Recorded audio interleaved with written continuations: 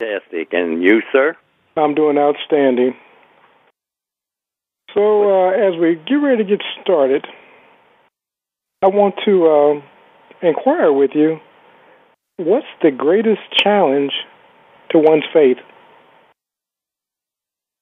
Finding the son. That's it. That's what you're here for. You're here to find your son. And that's you. You know, stories that they tell you from Scripture about Jesus, that's fictional. It really is. Because Jesus Christ is in you. He tells you, you go to the scripture, you try to find me. Now I'm not there, I'm in you.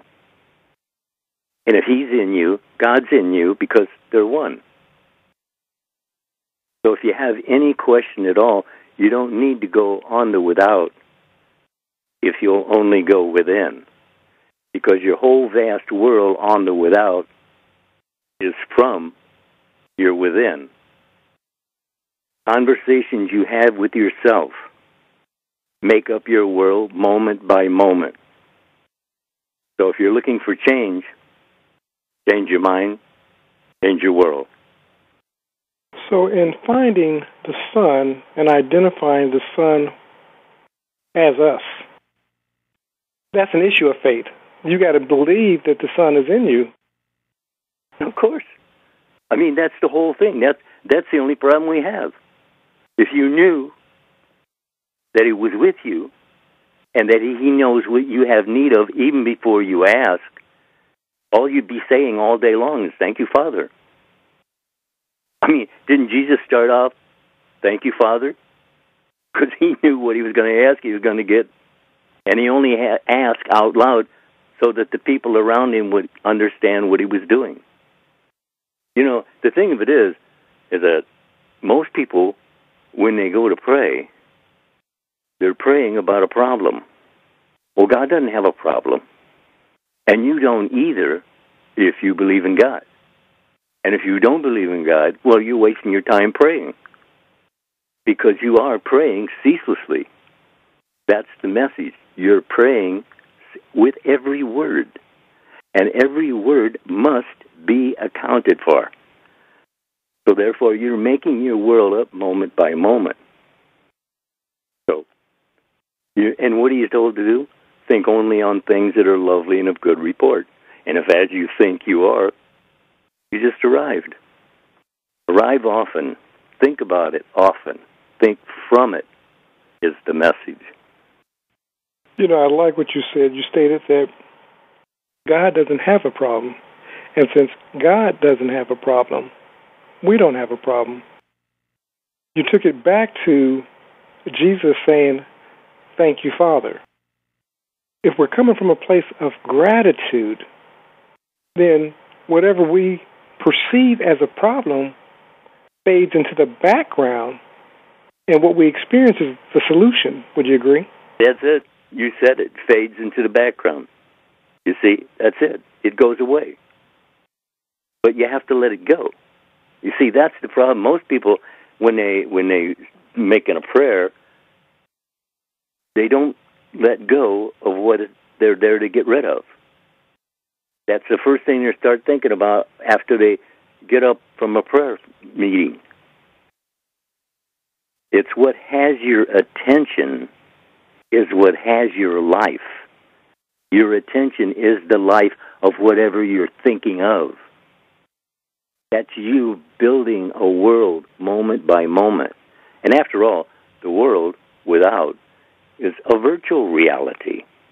It's not reality because reality is changeless and everything here changes, it goes away. So think only on things that are lovely and of good report. I know that sounds like a real order, but it's as much as you can. And if you keep pushing on doing it more off more often, it'll take after a while. It will take, and then it, you won't be bothered with those ideas anymore. But you're told to let go and let God. So, see, if you're letting go and you're letting God handle it, well, what would be your problem? What do you think about that? you wouldn't have any problems. You know, you made mention of the virtual reality, and you said the virtual reality is continuously changing. Many people uh, that are practicing these principles, that are practicing these laws, they see the virtual reality as permanent. And so they say, well, we don't die, we can't get sick, blah, blah, blah, because we're gods. But this is a virtual reality, and it can't do anything but continuously change. Would you agree? Well, actually, you're just a dreamer. Mm-hmm. This is a dream. This, you're told dream the dream. Well, that's what we're doing. We can't not not do so. It is a dream until you realize who you are, and then you remember. But that's the whole point. You're here to find who you are and the experiences that I've had, because God says, "Look, I, I'm here with you. You know, I go through this with you, but you behold me not." You think it's all you by yourself, but even though you walk through the valley of the shadow of death, it says, I am with you. So, what, what is it that, that you're waiting for to turn to God when He gave you an invitation? You turn to me and I'll turn to you. People kind of talk to God in their praying, kind of like they're talking on the phone. Do you get it? You know, it, it's it's supposed to be. I mean, he's with you always, always with you. Isn't that personal? It is. How much more personal could it be? And Jesus says, "I'm there too," because the two are one.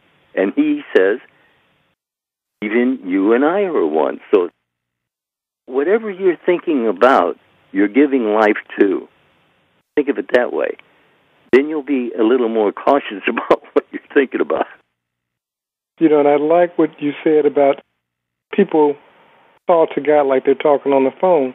And so, of course, since we're talking on the phone, when you and I finish talking on the phone, we hang up. Yeah.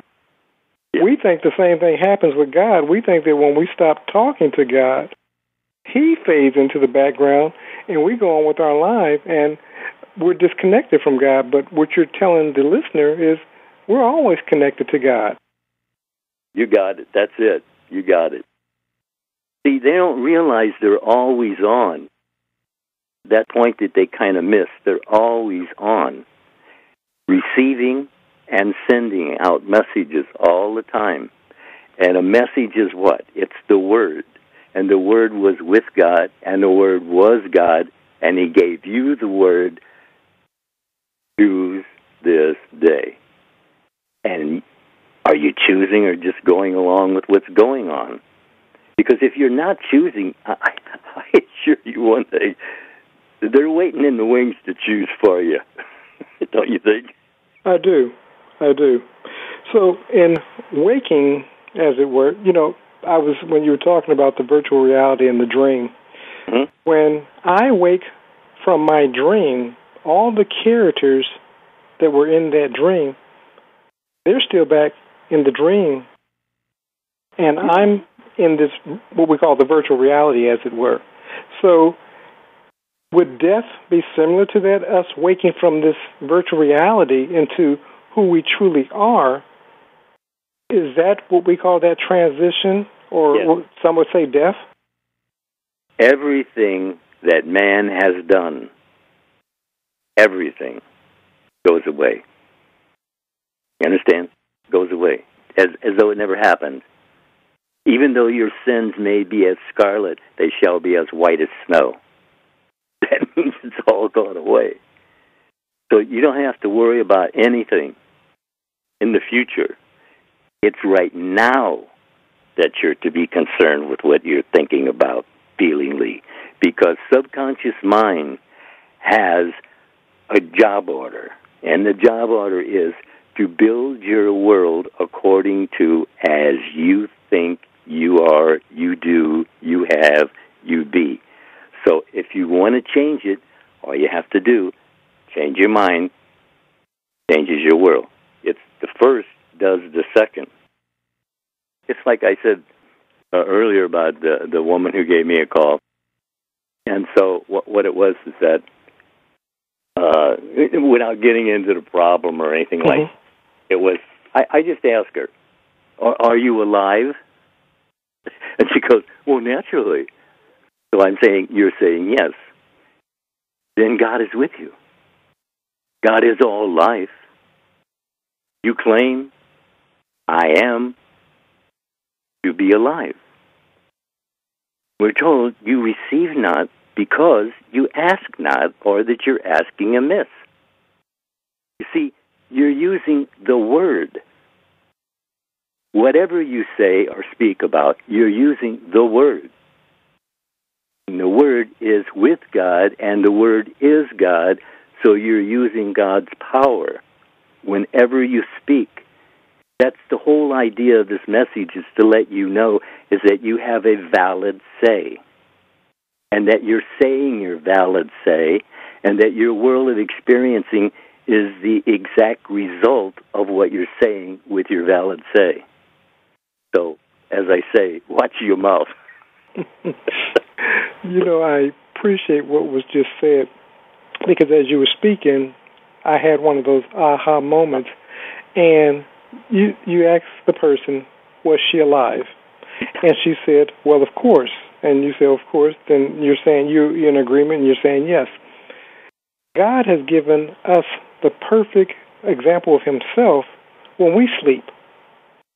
If we're watching TV and we watch, let's say, a scary movie, we take that thought into our dream world, as it were, and it manifests as maybe slightly different, as we both know, but there's some essence of what we've given our attention to manifested in our dream world, as it were. But we're the creators, the dreamers in that dream world, like we are here. God has given us a picture of Himself as we dream and create that virtual reality within our dream world, so does He in what we call this realm of reality or virtual reality. Would you agree? That's it. He said it. He said, I'm right there with you, but you behold me not. You see, we're always looking on the without for what we need, what we want, what we think, and what we feel is going to be. And it's all happening within. You're talking to yourself, and that talking isn't going into the past. That talking is creating your future. So if you don't watch your mouth what you're saying, your future is going to be confusing. It'll all be a surprise when because you forgot what it was you had thought ahead of your evidence. As you were talking about thinking ahead of your evidence and what we're giving our attention to, that's the thing that most of us we take for granted. That we think that we can have a fleeting thought, uh, something just a passing thought, and that that thought has no impact on our daily lives. And then when it gives harvest, we say, "Where did that come from?" Yeah, yeah, yeah, yeah. That's right. Yep, that's it. You got it. That that that's the whole idea is just to watch what you're saying, because you, you don't realize it, but your talking is suggesting to yourself your next move your very next move. You're talking to yourself your very next move. And that move is into your future. So if you're not liking what you have been thinking because of what you have been experiencing, it's a simple question to choose this day rather than just go along with what's going on. that can lead you some, some pretty weird places.